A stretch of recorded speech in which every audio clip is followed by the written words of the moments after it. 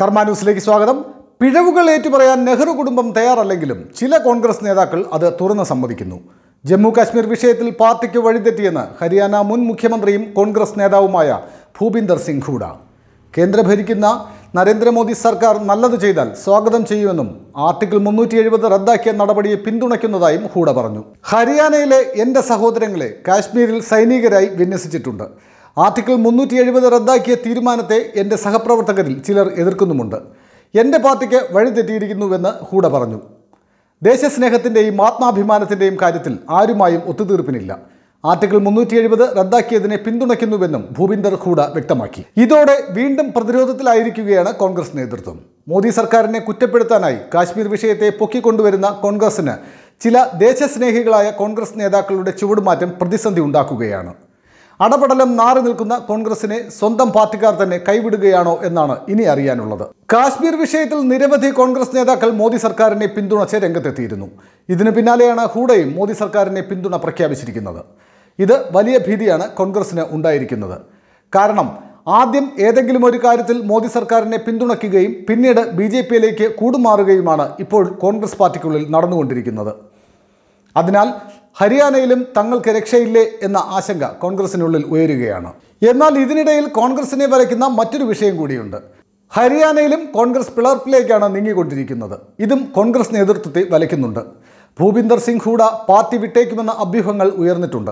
Haryana Pradesh Congress committee അധ്യക്ഷൻ അശോക് തൻവറുമായുള്ള ഹൂഡയുടെ അഭിപ്രായ വ്യത്യാസം രൂക്ഷമാണ്. പതിനാറ് എം എൽ എമാരിൽ പന്ത്രണ്ട് പേരുടെയും പിന്തുണ ഹൂഡയ്ക്കാണ്.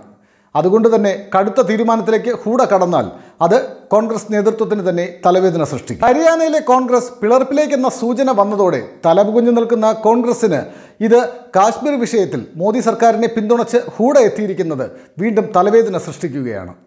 കാശ്മീർ വിഷയത്തിൽ നിരവധി കോൺഗ്രസ് നേതാക്കൾ മോദി സർക്കാരിനെ പിന്തുണച്ചിട്ടുണ്ട്. എന്നാൽ അപ്പോഴും ഇപ്പോഴും സോണിയാഗാന്ധിയും രാഹുലും പ്രിയങ്കയും മറ്റ് ചില നേതാക്കളും ഈ സുപ്രധാന തീരുമാനത്തെ അംഗീകരിക്കാൻ തയ്യാറാകുന്നില്ല. ഇപ്പോഴും രാഷ്ട്രീയ മുതലെടുപ്പ് മാത്രമാണ് കോൺഗ്രസ് നടത്തുന്നത്. രാജ്യത്തിന്റെ തന്നെ കണ്ണീരായി മാറിയ കാശ്മീരിന് പൂർണ സ്വാതന്ത്ര്യം ലഭിച്ചതുപോലും അംഗീകരിക്കാൻ കോൺഗ്രസ് തയ്യാറാകുന്നുമില്ല. എങ്കിലും രാജ്യസ്നേഹികളായ കോൺഗ്രസ് നേതാക്കൾ മോദി സർക്കാരിന് പിന്തുണ പ്രഖ്യാപിച്ച് രംഗത്തെത്തുകയാണ്. News desk Karma news. Karma ന്യൂസിലേക്ക് സ്വാഗതം. ഞങ്ങൾ പ്രക്ഷേപണം ചെയ്യുന്ന വാർത്തകളും പ്രത്യേക പരിപാടികളും കാണുകയും ഞങ്ങളെ പ്രോത്സാഹിപ്പിക്കുകയും വിലയേറിയ ഉപദേശങ്ങൾ നൽകുകയും ചെയ്യുന്ന നല്ലവരായ പ്രേക്ഷകർക്ക് നന്ദി രേഖപ്പെടുത്തുകയാണ്. ഞങ്ങൾ സംപ്രേഷണം ചെയ്യുന്ന ചില പ്രധാന പരിപാടികളാണ് ഡോക്ടർ ലവ് കർമ്മയോഗം ഓട്ടോ എക്സ്പോ കർമ്മരംഗം എക്സ്ക്ലൂസീവ് സ്റ്റോറീസ്.